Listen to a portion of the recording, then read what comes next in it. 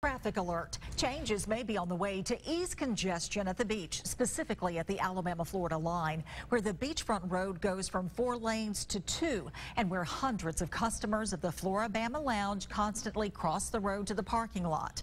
News 5's Haley Minogue joined us now live with some possible solutions. Haley? Heavy traffic seemingly at all hours of the day has a lot of backup going on outside of Flora-Bama Lounge and it's got a lot of owners or the owners here at Flora-Bama trying to figure out what they're going to do to fix it. Take a look. At all hours. It's really busy. Cars zoom by Flora-Bama. We just have a lot of traffic in general in this area. With a bar with the name Flora-Bama, it doesn't take a genius to know creating a safer area for pedestrians and a lighter traffic flow takes collaboration from Florida and Alabama. Coming together for a solution became even more apparent in the last few months.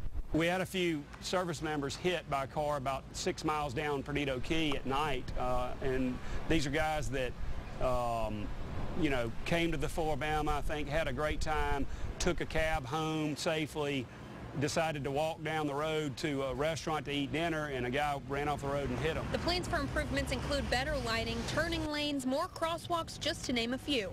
The only issue we've had is time.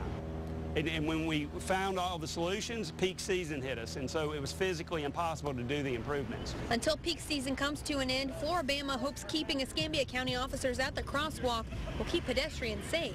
The police presence on the weekend is good for the crosswalk, so maybe more police presence. We're committed to keeping those officers out there or somebody operating that crosswalk in all of our peak times going forward.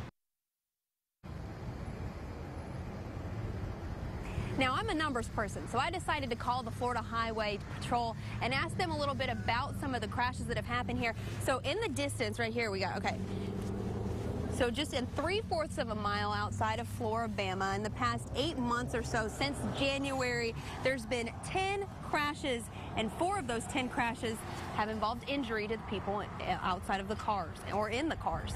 Reporting live in Perdido Key, I'm Haley Minogue, News 5.